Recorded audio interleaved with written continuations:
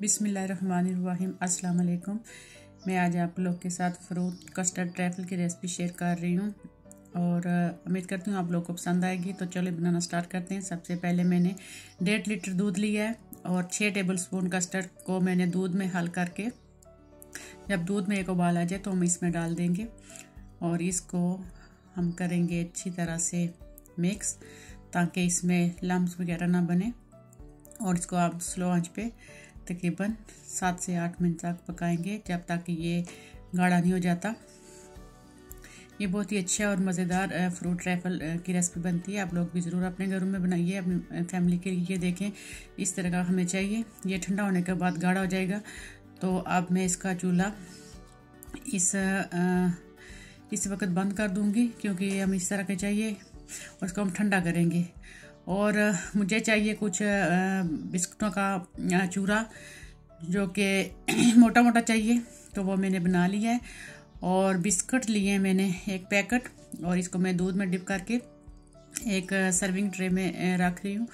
क्योंकि अगर आप केक का बनाना चाहते हो तो नीचे केक भी रख सकते हैं, लेकिन मैं बिस्कुट का बनाऊँगी? क्योंकि मेरी बच्चों को बिस्कुट का पसंद है तो मैंने सारे बिस्कुट को दूध में डिप करके रख दिया और कस्टर्ड जो कि हमारा बिल्कुल ठंडा हो चुका है दो घंटे बना के मैंने पहले रख दिया था और एक लेयर हम कस्टर्ड की लगाएँगे और इसके बाद जो भी फ्रूट आपको पसंद है, जो भी फ्रूट अवेलेबल है, वो सारा फ्रूट काट कर हम इसके ऊपर डालेंगे। ज़रूरी नहीं है कि हर किस्म का फ्रूट हो जो भी अवेलेबल हो घर में, वही आप इसको यूज़ कर सकते हैं टैफल बना सकते हैं। और इसके बाद दोबारा इस पर तेल लगाएँगे कस्टर्ड की। तो इसके बाद मैं जो कस्टर्ड है थोड़ा थोड़ा इसके ऊपर डालूँगी। बहुत ही मज़ेदार और यमी से ये ट्रैफल बनता है, आप लोग भी ज़रूर इसको ट्राई कीजिएगा। अपनी फैमिली के लिए, अपने बच्चों के लिए। मेरे बच्चों को तो बहुत ही पसंद है। ये देखें, मैंने एक तेल लगा दिया कस्टर्ड की। और इसके बाद ये जो मैंने बिस्कुट को थोड़ा मोटा मोटा कूटा था, ये इसके ऊपर डाल दूँगी। इससे भी इसका अच्छा फ्लेवर आता है। आप लोग भी एक दफ़ा बिस्कुट का बना के चेक करना। और ये मैंने थोड़ी सी जेली बनाई थी, मगर ये अभी इतना सेट नहीं हुई। तो एक स्ट्रॉबेरी की है और एक लेमन की है। तो अच्छी तरीके सेट नहीं हुई तो फिर मुझे ना ये चम्मच से निकालनी पड़ी। तो ये देखें। तो इसके ऊपर हम फिर कस्टर्ड की लेयर लगाएँगे।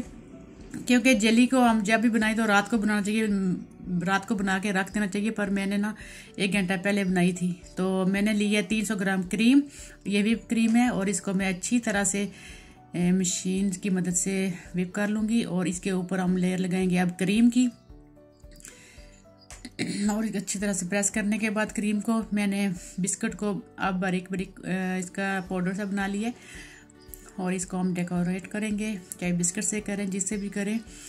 तो आई होप कि आपको मेरी रेसिपी पसंद आएगी। बहुत जल्दी और चंद मिनटों में बन जाने वाला ये मीठा है। तो ईद थी तो मैंने सोचा कि चलो ईद के लिए रेसिपी बना, ईद के लिए बना लेती हूँ और रेसिपी भी साथ में बना लेती हूँ।